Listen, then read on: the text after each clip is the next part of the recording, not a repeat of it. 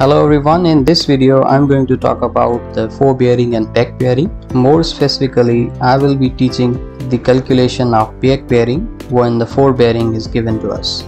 So let's have an idea that what is forebearing and back bearing. We know the standard directions. Let's say that we have a line that lies in northeast quadrant the starting point is A, ending point is B. So then the bearing that is being obtained by placing the instrument at point A will be the bearing of AB or you can say forebearing and bearing that is being obtained by placing the instrument at point B and then calculating the bearing of BA line would be the back bearing. Now let's discuss how we can calculate the bearing of BA line or back bearing if the forebearing or bearing of AB line is given to us.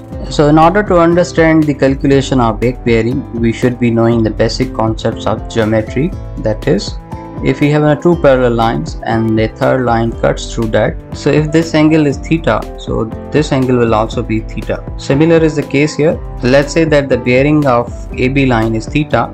So then this angle the angle that is being represented with the red line will also be theta. And we know that the angle from north to south will be 180 therefore the bearing of BA will be simply the addition of bearing of AB plus 180. So if you know the bearing of AB then the bearing of BA can be calculated by simply adding 180 with the bearing of AB line.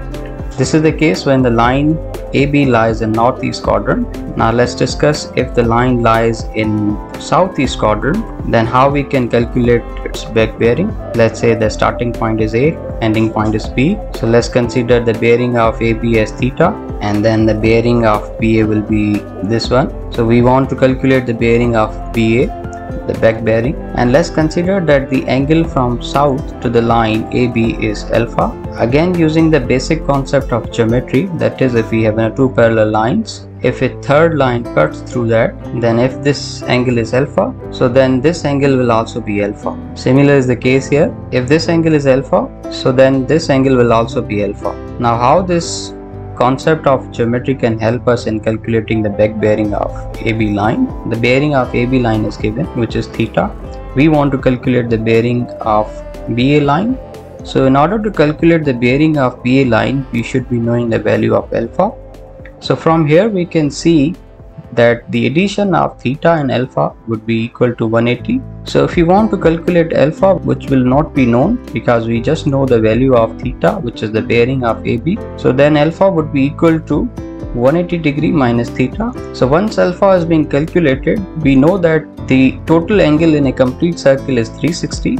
If we subtract alpha from 360, that will give us the bearing of BA line. So then the bearing of BA will be simply the subtraction of alpha from 360 degree. Moving to another case in which the line lies in southwest quadrant that is let's say that the starting point is A ending point is B in the bearing of AB is given. Let's say that is theta. And we are being asked to calculate the back bearing of AB or we can say the bearing of BA line. So then this will be the bearing of BA line or we can say alpha is the back bearing of AB line. So we want to calculate this alpha. So in order to calculate this alpha using the same concept of geometry if this angle is alpha so this angle will also be alpha.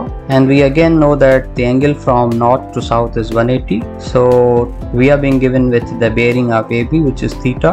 And we want to calculate alpha. So we know that from here that theta is actually the addition of 180 degree plus alpha. So alpha can be calculated as the subtraction of theta from 180 and which is the back bearing of AB line or you can say the bearing of BA line so this is how the bearing is being calculated when the line lies in southwest quadrant. In the last if we are being given with a line that lies in northwest quadrant and the starting point and then the ending point are same again A and B.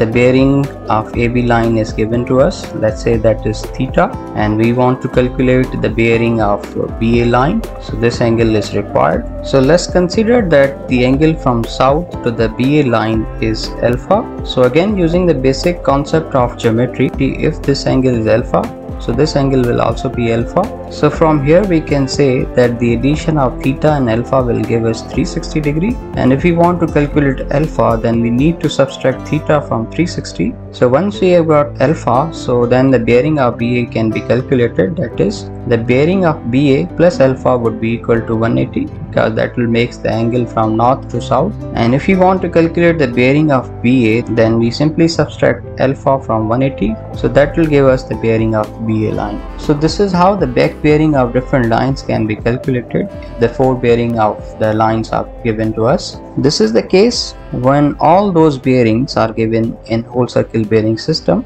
and we have discussed each of the case when the line lies in northeast quadrant, southeast quadrant, southwest quadrant and northwest quadrant.